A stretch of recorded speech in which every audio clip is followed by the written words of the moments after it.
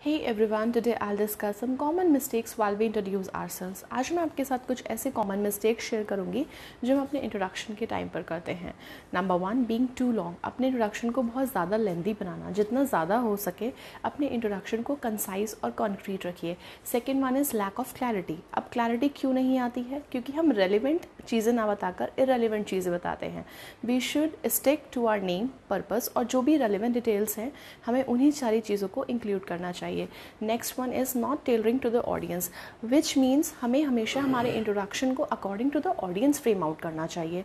For example अगर हम interview के अंदर हैं तो हमारा जो मैटर है, जो कंटेंट है, वो उस अकॉर्डिंगली फ्रेम आउट होना चाहिए। अगर हम नंबर ऑफ़ पीपल के आगे अपना इंट्रोडक्शन दे रहे हैं लार्ज ऑडियंस हमारे सामने है तो जो हमारा इंट्रोडक्शन का मैटर है, वो उस अकॉर्डिंगली फ्रेम आउट होना चाहिए।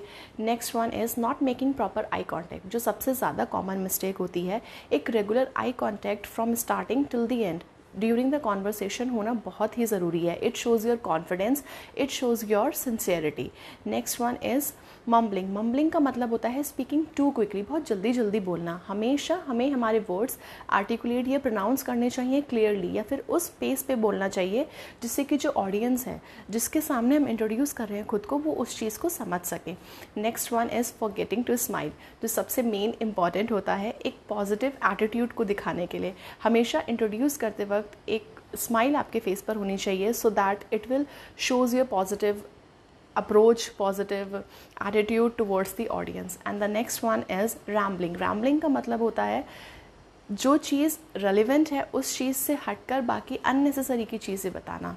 तो हमेशा हमें हमारे की पॉइंट्स पे स्टिक रहना चाहिए while introducing ourselves so these are some common mistakes जो हम अपने इंट्रोडक्शन के टाइम पर करते हैं। इन चीज़ों को हम टोटली एलिमिनेट नहीं कर सकते बट प्रैक्टिस के साथ साथ हम इन चीज़ों को रिड्यूस कर सकते हैं। आई होप आप सबको क्लियर हो गया होगा। Thank you.